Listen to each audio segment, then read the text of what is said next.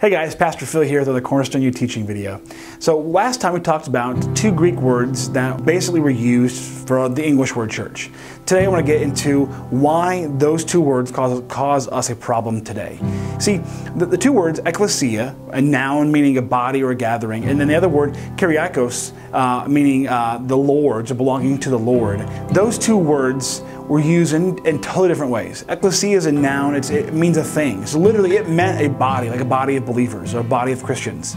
Kyriakos is an adjective, and it was used far less in Scripture than the ecclesia. But as time moved on, and phrases like you know the house of the Lord or the Lord's church became more popular, uh, Kyriakos became a more default word for church, and, and generally for church building, but it evolved to become the default English word for church.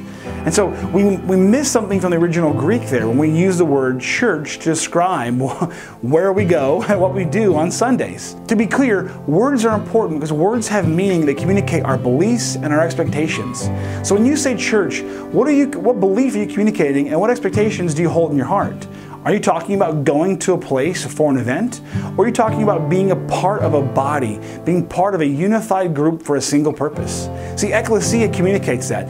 It communicates a, a, a body that's of individuals who gather together for a, for a purpose or for a topic for, or for a certain time or a certain reason, whereas Kyriakos just kind of describes the building.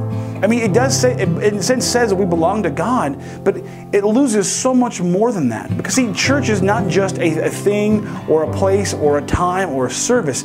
It's a living organism. It's a body. It's a movement. It, it's a family. When you say ecclesia, when you, when you communicate church, you should be communicating your belief that you are a part of something bigger than yourself with, with, with God at the head, with Christ as our elder brother, you are a part of something that matters for eternity and that you have a part to play in that.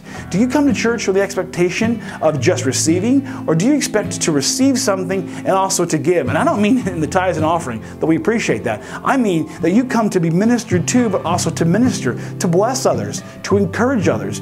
You are part of the body. You are part of the movement. You are part of the gathering. You belong belong here have a role to play.